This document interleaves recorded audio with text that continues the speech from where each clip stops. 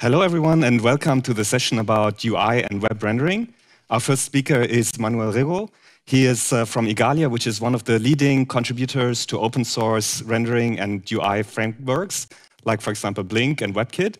And he is the chair of the technical steering committee of Servo, which he will talk about now. Thank you. So please clap for Manuel Rego. Thank you. Thank you for, for inviting me to talk here about Servo. And yeah, like the title says, uh, a web rendering engine uh, for the future. First, we will, yeah, I mean, like the topics I will cover during, during the talk today, a quick introduction about myself and Igalia. Then I will explain what's Servo and what's not. The main features of Servo, the current status of things, like a high-level overview, and like the long-term vision for this project. At the end, a small conclusion. So myself, I'm Manuel Rego. I work at Igalia in the web platform team. I have been working more than 10 years now on web rendering engines, basically mostly on, on Blink and, and WebKit. And yeah, I have been, as part of that work, being part of the CSS working group at the W3C. And since January 2023, I'm the, the chair of the TSC, the Technical Steering Committee of, of Servo. And yeah, about Igalia, I don't know if you have ever heard about this company or not. But yeah, like if you use some open source project, probably there will be some code from Igalia in some of them, because we have, yeah, we are an open source consultancy that was founded more than 20 years ago. We are a fully remote company with more than 140 people right now in more than 25 countries. And yeah, like we have contributions to many open source projects, like from the Linux kernel to, to uh, graphics drivers to where I mean a big part of our company works on the web platform, and we have like we are the top contributors to Chromium WebKit and Gecko. We are like in, in the top contributors also, and also of course in in Servo recently. So yeah, we have we are a special company in the sense that we have a flat structure and we work like a cooperative, so we are quite pretty different to, to most companies out there. But yeah, like the top open source consultancy in this web platform work. So yeah, first what's what's Servo? Uh, I mean the definition is going to be a bit long, but we will go part by part and we will try to go on some topics deeper. So Servo is a web rendering engine, so this is something different than the browser. It's not a browser, it's like, I mean the browser uses the web rendering engine to actually render the websites. So the browser is an application on top of the, of the rendering engine. I will go more in detail about this later. And Servo is written in Rust, which makes it special because not other uh, browsers or web engines are written in Rust. And yeah, Rust, I guess you all know, it's a language that is focused on security and concurrency and all that. It has WebGL and WebGPU support. WebGL is this JavaScript API to do uh, two-dimensional, three-dimensional graphics on the web. And WebGPU is like the evolution of that API to do more advanced modern graphics on the web. And it's adaptable to desktop and mobile. Like uh, right now, the platform Servo supports are Windows, Mac, Linux. It also supports Android now. And the Open Harmony support, Jonathan Schwender is, is bringing it to, to Servo. So, I mean, we are almost five platforms right now in the project and it's em embedded and, and it's also adaptable to embedded applications in the sense that applications can use Servo as a web view to render web content. So yeah, focusing on the web rendering engine part, which is like quite special, we usually don't think a lot on this part because we use the browser, we use the actual app on top of it. So like just maybe some names you know, like Blink is the web rendering engine that Chrome use. Gecko is the one that Firefox use, and WebKit the one that Safari use. So these are things that we are using every day, everywhere, because like every time you browse a web page or open anything that has a web content, it, you are using some of these. And yeah, these are like the things that process the HTML and CSS and other resources, and at the end paint something on your screen and displays the, the website there like speaking very quickly what uh, a web rendering engine does. And these are huge projects, like millions of lines of codes, like especially WebKit and Blink are like 40, 50 millions of lines of code. So a lot of, of, of code goes to these projects and they are big and they have been growing for yeah, like 20 years or more. They are like old projects also in a sense. And yeah, they have in the different companies like Google, Apple, Mozilla, they have big teams, probably more than 100 engineers. It's not like we have a number, but in each of them, probably there are like at least 100 people or more, probably, especially Google and Apple that are bigger. And, and yeah, and if you count the people that are also around the browser and all that on top, probably you can get up to thousands or whatever. So like, this is not a, a small project.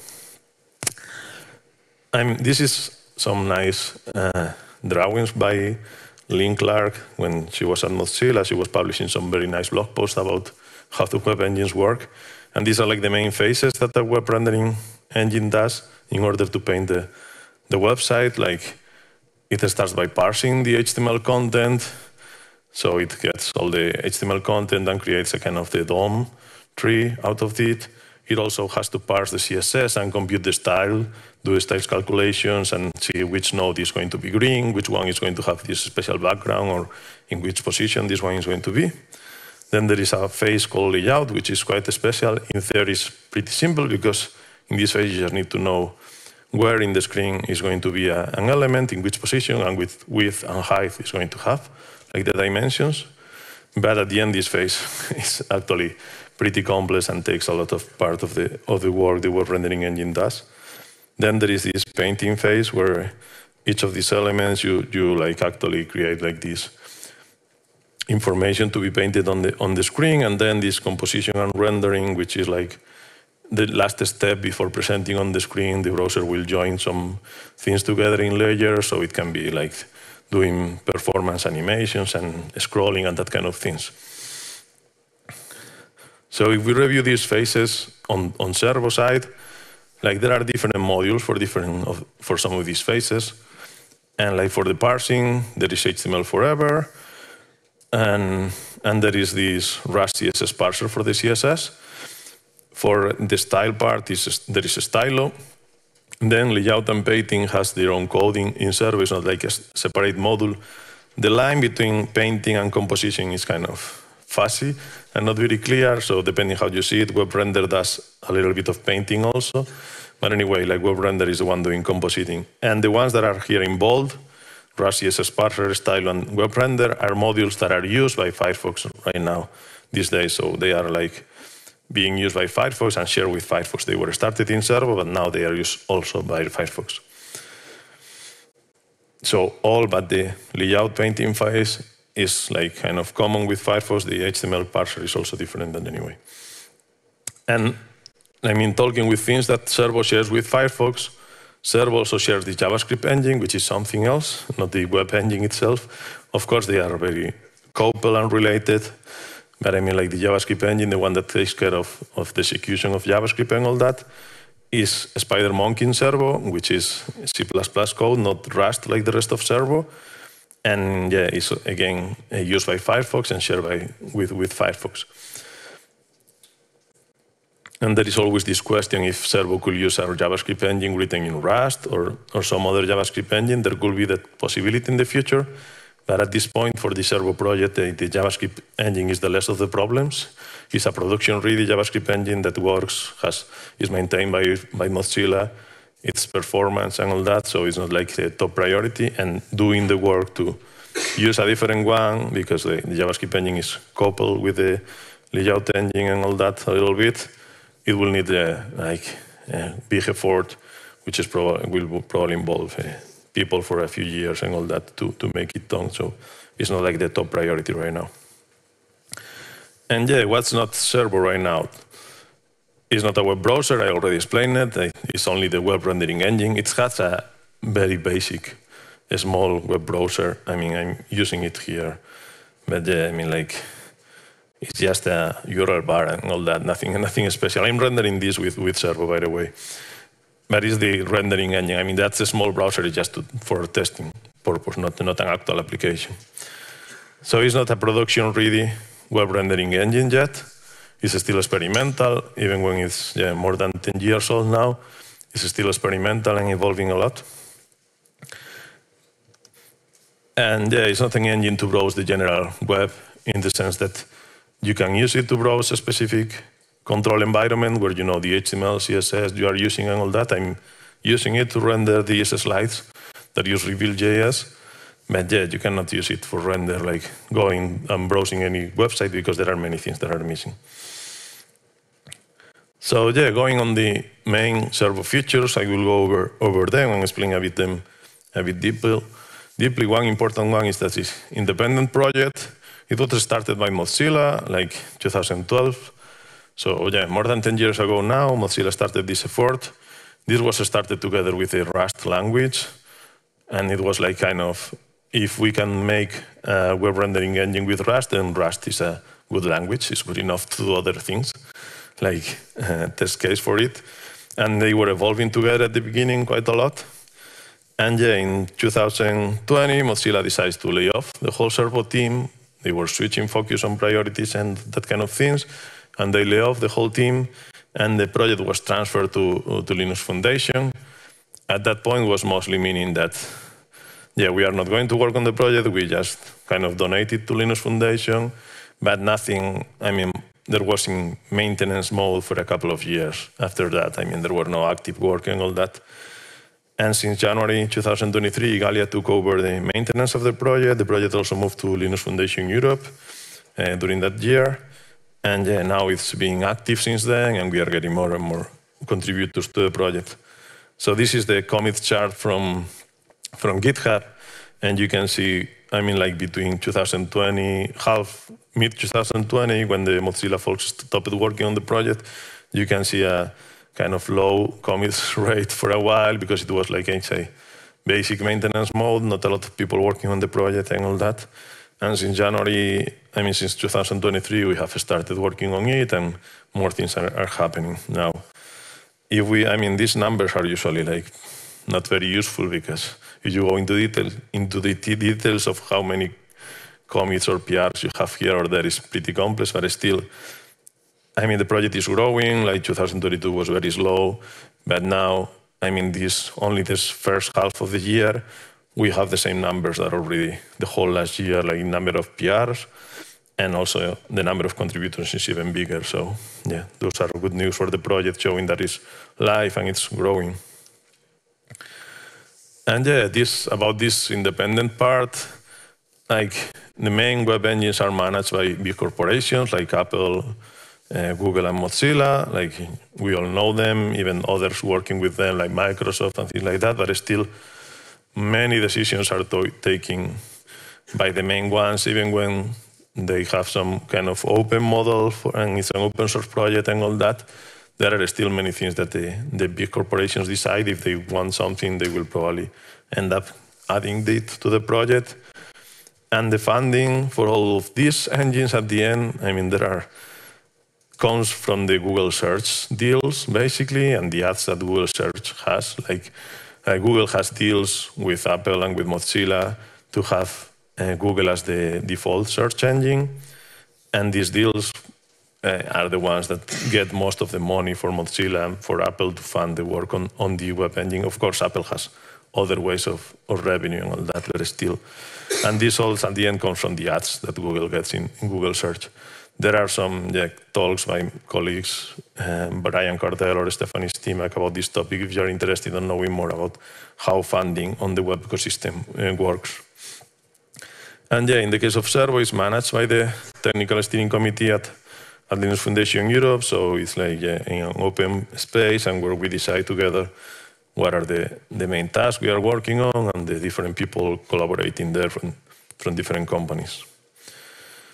Another feature of Servo is parallel, that is parallel. And yeah, this was like a key feature for Servo from the beginning of the project together with, with Rust. I mean, using Rust was a way to, to have an, an easy way to do parallels in the project. And yeah, it's using it as much as possible or almost everywhere. Servo has a parallel layout engine. No other uh, web engine have, have something like this. And despite this is pretty complex because initial layout engine in Servo that was started with the project uh, was using parallels all the time to render everything or trying to use parallels all the time. And that was showing it was not possible to implement CSS. Things like CSS floats was not possible with that layout engine to, to implement them properly. There were always corner cases and things like that. And in 2020, there was a, an effort to rewrite the layout engine. I mean, following new things like other engines are doing. Maybe this is like too technical for people not following these things, but in Chromium, they were doing LayoutNG at that time and things like that. So like this new layout engine is also kind of following those approaches, trying to follow closer the specs and all that. And yeah, it has been evolving since 2020, but there was this layoff, so it was stopped for a while. Now we are retaking the work on it. And it's using parallels as much as possible, but when there are things like floats or things like that, it stops and cannot do, use it, but still it can show performance improvements. And yeah, like using parallels makes you potentially faster and more energy efficient in, in the devices that you have these days that have usually multiple cores in the CPU, GPU, and, and all that. So you can take advantage of those. The other thing about Servo is that there hasn't been recently performance work. Like you see, there was these years of not a lot of work on the project, and then like last year of the project reactivation and all that, but we didn't have the time to, to do performance optimizations or things like that yet. And of, also there is this part of doing a proper benchmarking comparisons with Chromium and all that that hasn't been done yet. Despite of that, the initial results are are kind of promising when we have tested some things. This is a video of Servo running in parallel with Chromium in a Linux desktop, nothing, nothing special, nothing optimized, just and some examples run a little bit faster on, on Servo than Chromium. Of course, these examples are thought to showcase Servo benefits. They are not like uh, real websites or anything like that. They have a lot of elements, and Servo can parallelize them and make things faster. And yeah, and Jonathan was also doing some, some tests on Open Harmony, comparing with Chromium and showing that the, the layout was actually way faster in Servo as soon as you use more than one CPU. So that's, I mean, probably uh, hopeful and potentially can be a good, a good thing for the, for the project in the future. Yeah, another feature of Servo that is embeddable, and that's like in a like can be seen from two meanings. Like one is that it can provide a web view for other applications. So they can, if you need to render web content, instead of using like the system web view or Chromium or whatever, you can just use, use Servo and, and go with it. The API for, for that is uh, still evolving. We have been working with Tauri, which is a, a Rust UI framework that wants to that use the system web view but wants to use Servo because the, that's also Rust and all that. And yeah, the API is still evolving and adding more features and things like that. But but yeah, some use cases could be this kind of UI frameworks or other small apps that need just a control environment of HTML and CSS, and they can use Servo. And also the other point, I mean, the other way we can see to this embeddable feature is that it can be used in embedded devices in the sense of devices that have, uh, uh, I mean, like not very powerful CPUs, things like that, like the Raspberry Pi, things like that. We have uh, managed to run Servo there and, and with good, good results. So this is the example of Tauri using Servo underneath. This is like yeah, showing how it works in the three platforms, Windows, Mac and, and, Linux. And yeah, basically, this is like the collaboration we did with, with Tauri around, around this just so far showing some content, but yeah, we have been working on adding also multiple web views, things like that, that will allow to do nicer things. And yeah, Servo is also memory safe, and that's, of course, thank you to the Rust language that allows you to have fewer vulnerabilities in your code related to memory and concurrency. And the language was thought for that specifically. And yeah, this is an advantage of Servo compared with the other engines that all of them use uh, C++, which of course has uh, this kind of memory problems.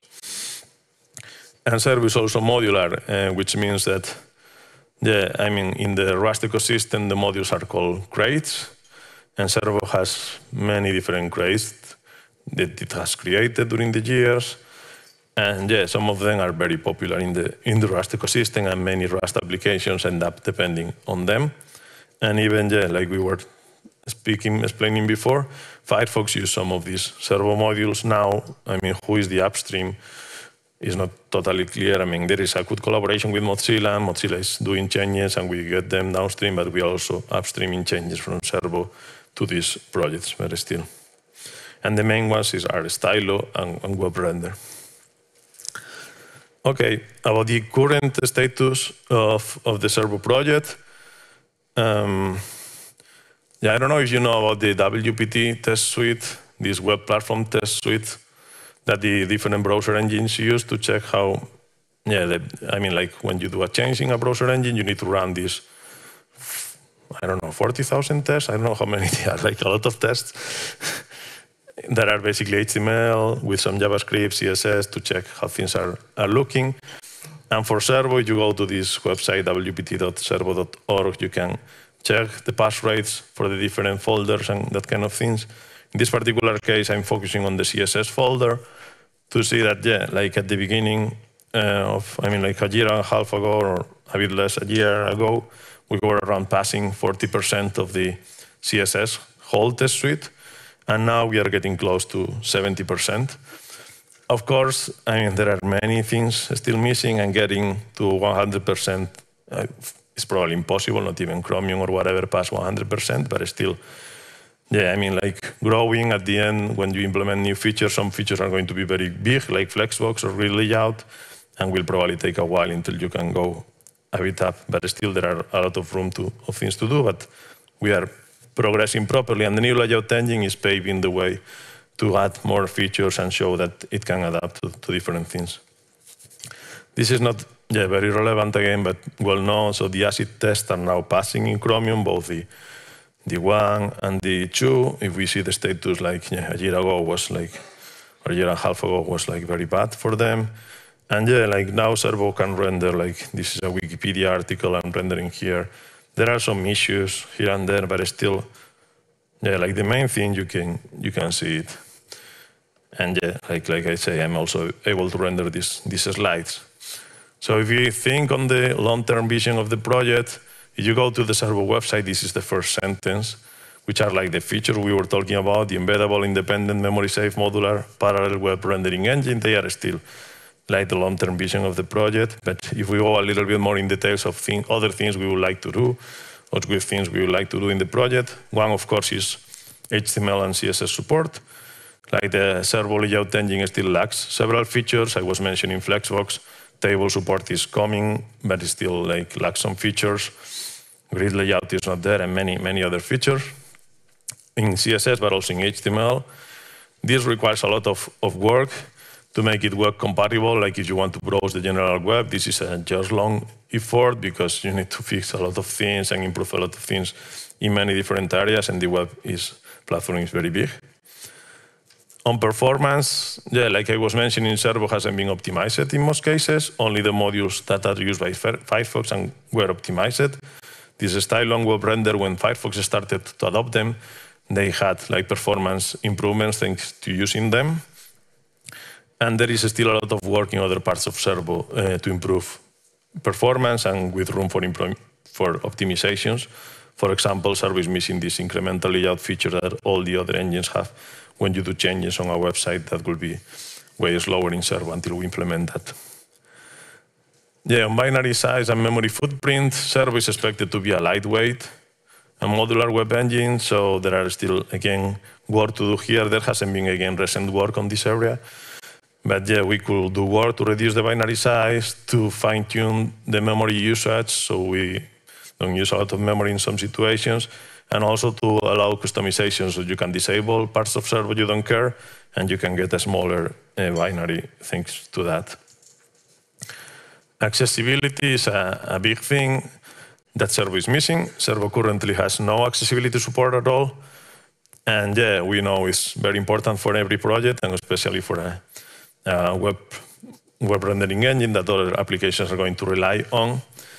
And yeah, accessibility in other engines have some performance issues, like when you enable it, usually the, the experience is a bit slower and all that. The goal with Servo will be to have accessibility support without any of these performance issues, trying to reuse parallels again, as in the rest of the project, as much as possible for the accessibility tree, and yeah, uh, hopefully enabling this.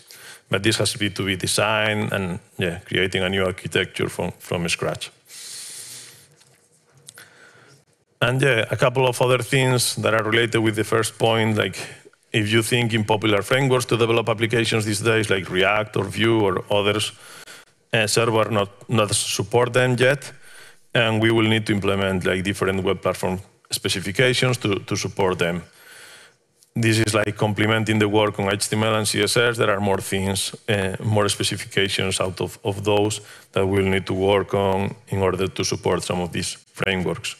And very similar to the previous point, if we want to render popular websites that not right now are broken on Servo, we will need to add more missing features, like if you want to do calls or whatever, you will need WebRTC, which is missing and things like that. So again, complementing the, the previous points, this will be like working on adding more and more, more features. So yeah, just to, to close this, this talk today, yeah, the servo rendering engine has a few strong points, like it's independent, the open governance at the Linux Foundation Europe. It's performant, it's the only one doing like parallelization of web component, web content on the full stack, and it's secure thank you to the Rust language. But it also has some not so good things. It's still experimental, even after 12 years, and it's still missing many, many features, so it cannot be used on a daily basis. So yeah, I was saying a web engine for the future and, and how we can get there. Like we will need to grow a healthy ecosystem around the project. We are in that way, that path. I mean, more and more people are working on the project these days. That's positive. And yeah, we will need multiple organizations joining efforts who are working on the project, putting people to work on the project, and also funding the project uh, with funds from the public or private sector, like with grants or with some companies like deciding to bet for the project and, and putting money on it. And in, the project also has like a lot of opportunities. I mean, from starting with simple applications that need to render web content, if you know the environment I was mentioning and you control it, you can, and you just need some specific features, then you can probably use Servo for your application and you don't need like Chromium or something bigger also allowing these UI frameworks to use Servo. The UI framework usually has some components, some buttons, some, some text areas, whatever. And if they implement them with features that are supported by Servo, you can, or, or we add support in Servo for those features, then we, you can use Servo to render them. Ideally, it should become the default web engine in the Rust ecosystem. Like if you have a Rust application and you want to render content, probably Servo should be the default thing and eventually it should grow to support like a full feature web browser, but yeah, that will be like uh, looking years ahead. But of course, it also has a challenge. I mean, like it has huge competitors like Chromium, uh, WebKit, Gecko. They are like big things. And also the web platform is always evolving. That's very positive for the web developers. They can always get new features and all that. But when you're on the other side implementing features, you are always catching up with new things uh, and all that. We don't have in the project, I mean, the different people working is not a big enough team to do all this so far, and we lack funding. But yeah, hopefully we can, we can walk this path and get there and grow this more and, and improve the situation. So yeah, if you are interested on the project, you can, I mean, on the GitHub, the, all the code is there. You can check things. There is a chat if you want to discuss things about the project where all the contributors are discussing things. You can email us if you yeah, are interested, or you can sponsor on GitHub or Open Collective. And yeah, we are looking to grow the community around the Servo project and make it yeah, a big success in the, in the future. And yeah, that's all. Thank you, everyone.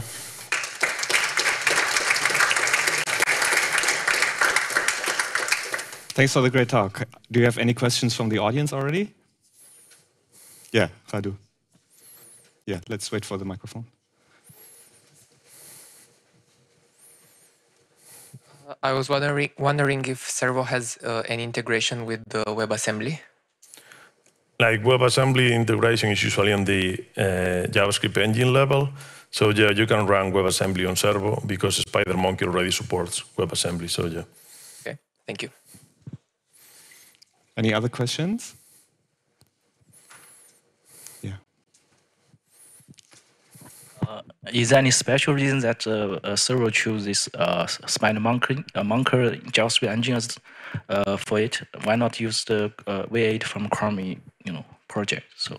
I mean, like initially it was Mozilla developing the project, and they were, I mean, they have to use a JavaScript engine. They they have one already, so why using something else? I guess so. They just go with Spider Monkey. Like I mentioned, Spider Monkey is being used by Firefox. Other companies also use it for other things. So it's good enough for the project. The project has many other things that are missing features, and the, not in JavaScript side. Thank you to Spider Monkey. Like we have WebAssembly. Thank you to Spider Monkey. And yeah, like why not use something else? It could use something else at some point. The other question is why use something else? like the opposite. Why, why do we want to use V8 if SpiderMonkey is good enough for the project needs? I mean, because it's going to be faster, we don't really know, because maybe at the end when you integrate with Servo, I mean, the integration between the JavaScript engine and the web engine is a bit complicated because of the all how you manage memory, garbage collection, and all that of the different DOM elements and the DOM nodes. So, I mean, it's like the people, the person, Josh Matthews, that was doing this integration says that if you want to replace the JavaScript engine, it's going to be a big effort, and you don't know if you're going to get a lot of benefits. So it's not something that nothing has, nobody has tried so far, but yeah, at some point it could ideally use even a Rust web JavaScript engine. There is one that is called Boa, but it's not, still not feature complete. But yeah, I mean, like ideally it should be a full Rust stack. Yeah, and another question is about you mentioned your parallel layout engine is very you know good feature in the Servo project. So you also mentioned this actually is quite complex, right? I'm, I'm just wondering what kind of approach like you use to ensure the correctness or how to find the debug concurrency in this project. Yeah. I mean, it's a little bit related to the topic in, in this morning.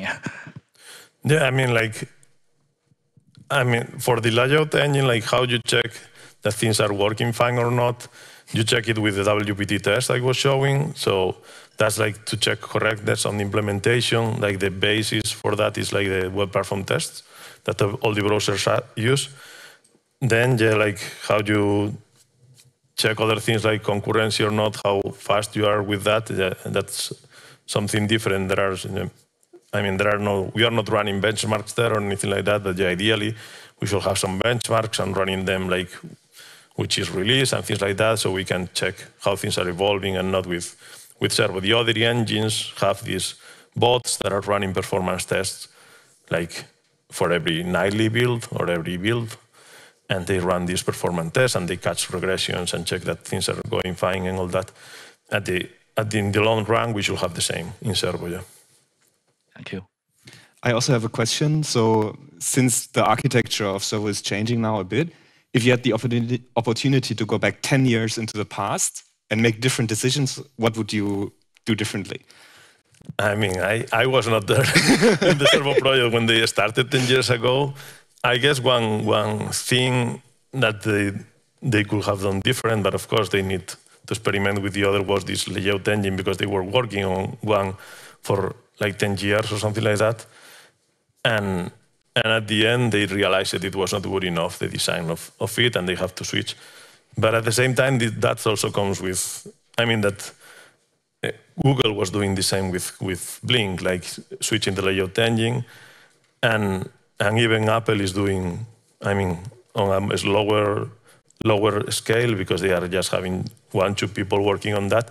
They also have a new layout engine in WebKit that is called layout formatting context, which is still like, yeah, I think it's only enabled for inline layout so far, but and it's still early stages, but it's still like all the engines are realizing that it's better to follow the specs closer. So now the new implementations are trying to follow what the spec says and trying to implement that. Because if you have bugs, then maybe you have to report the issue to the spec, but uh, it's easier to understand the whole thing and it's, yeah, it fits. I mean, like the CSS specs are pretty complex at the end if you join everything together, so if you follow them, it's kind of simpler to implement. So I guess that's the part where if they will have started with this new approach, but yeah, of course, you need like the previous. Then probably we will have a way better support of HTML and CSS at this point. Because the old engine still has a better support in, in some examples, because they were doing more features there. Thanks. Any other questions Uh, from the audience? question. Yeah. Actually, I have Last two questions. Um, Only one. only one. No, we already Let's try, but it's getting. still have time. Right?